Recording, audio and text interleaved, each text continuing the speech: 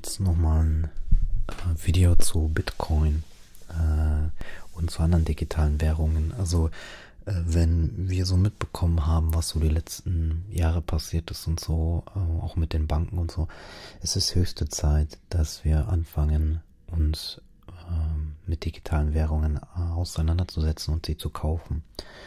Und für die, die ganz neu dazu sind, da erkläre ich noch so ein bisschen was. Ähm, Bitcoin ist die größte digitale Währung von allen. Die ist jetzt 100 Milliarden wert. Äh, der ein, ein, Bitcoin kostet 5700 Dollar. Und äh, es werden täglich so 2 Milliarden gehandelt an Bitcoins. Die, ähm, die zweitgrößte ist Ethereum, drittgrößte ist Ripple, viertgrößte ist Bitcoin Cash, fünfte ist Litecoin, sechste ist Dash. Das sind jetzt so erstmal die wichtigen. Und ähm, da kann ich ein bisschen was dazu erzählen. Bitcoin ist, wurde anonym kreiert. Äh, also niemand weiß, wer es kreiert hat. Es ist aber todsicher, weil es ein Open Source Projekt ist. Also jeder Entwickler kann mit dran arbeiten. Uh, jeder kann den Code einsehen.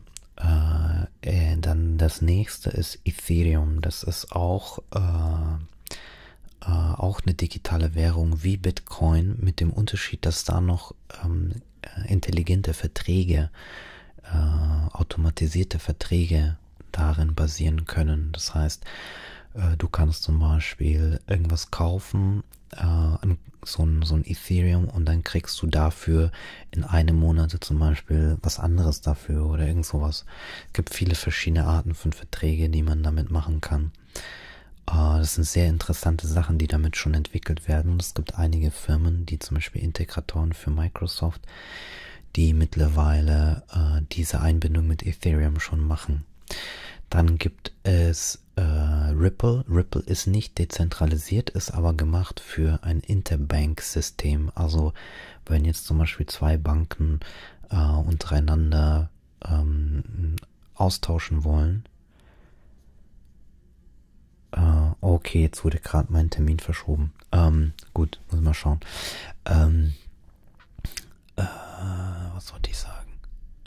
Ähm, Ripple, genau, also das für Interbankensystem Bitcoin Cash ist ein Ableger von Bitcoin, äh, hält sich auch noch. Auf Dauer wird er sich, glaube ich, nicht halten. Schauen wir mal.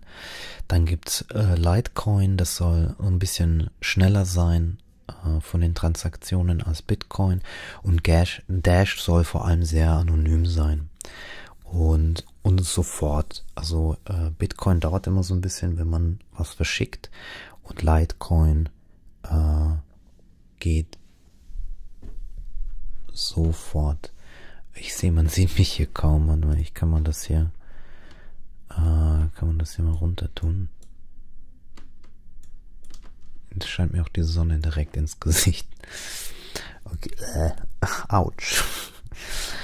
ähm, die, äh, ich sehe gerade, mein Interview wurde verschoben. Das habe ich vorhin gesagt. Ähm, Okay, und wo kann man jetzt Bitcoin kaufen? Also in Deutschland kann man zum Beispiel über bitcoin.de kaufen. Man kann über alle möglichen Plattformen kaufen, aber Bitcoin.de ist eine Möglichkeit und da ist ein Bitcoin bei 4800 Euro. Und ich, wir machen das jetzt einfach so.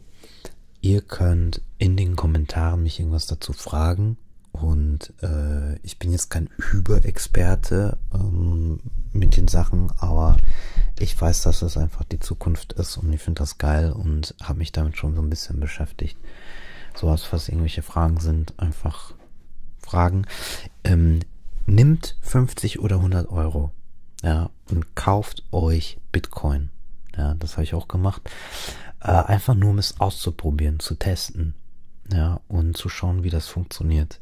Macht das. Also anstatt euch irgendwas anderes zu kaufen oder das Geld auf der Bank zu lassen, macht das weil äh, ihr wird sehen, da ist, da, da baut sich eine neue Welt zusammen, eine neue parallele Welt und das wird auch den Eliten die Stirn bieten, ja, weil dann plötzlich äh, man nicht mehr äh, Sklave ist, also finanziell gesehen ist man nicht mehr Sklave von, von diesem Riesensystem, das einfach extrem korrupt ist.